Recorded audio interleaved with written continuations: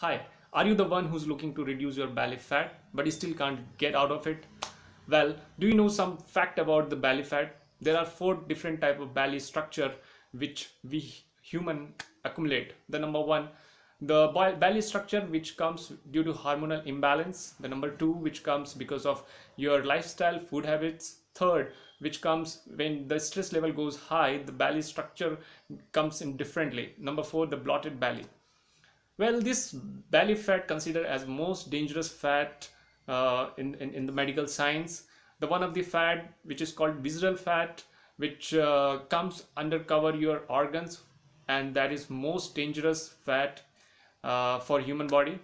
Well, my name is Ashish. I am a yoga teacher, lifestyle wellness coach. Uh, I have successfully tested my program more than 2000 students online and they got the result.